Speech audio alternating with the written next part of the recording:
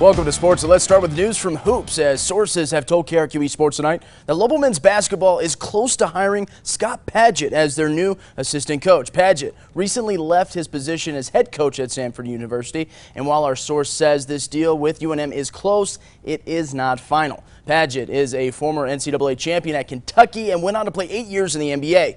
He has 11 years of coaching experience with six seasons as head coach at Sanford. We will keep you updated on this story.